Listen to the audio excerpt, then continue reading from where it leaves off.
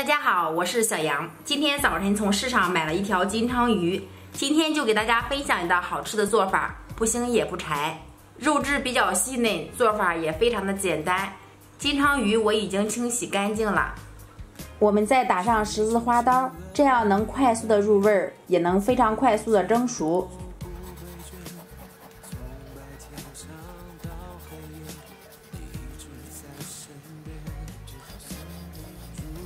下面我们准备一个盘子，在里面放入葱姜，加点清水，用手攥一下葱姜里面的汁水，把金鲳鱼放在里面腌上十分钟。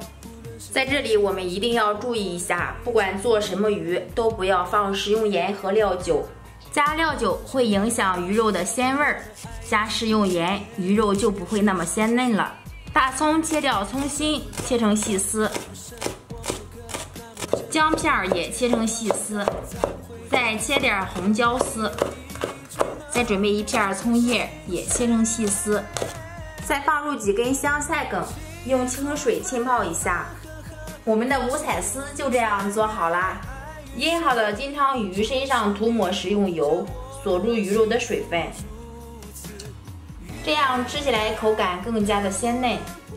下面锅中烧开水，上面放一个盘子。摆上葱姜片儿，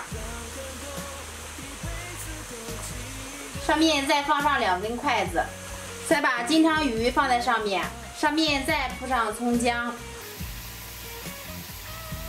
盖上盖子蒸十五分钟。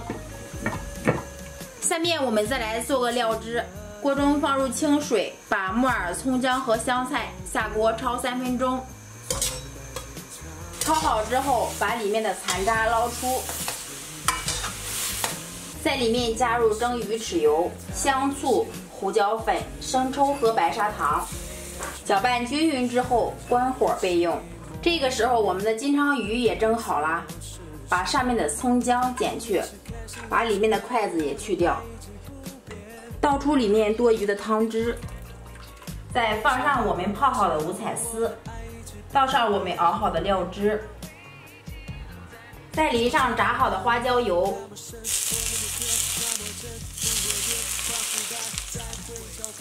好啦，我们这样一道鲜嫩入味的清蒸金鲳鱼就这样做好啦。这样做出来的鱼肉不腥不柴，口感鲜嫩又美味，做法也特别的简单。喜欢就赶紧尝试一下吧。我是小杨，感谢朋友们的观看，我们下期再见。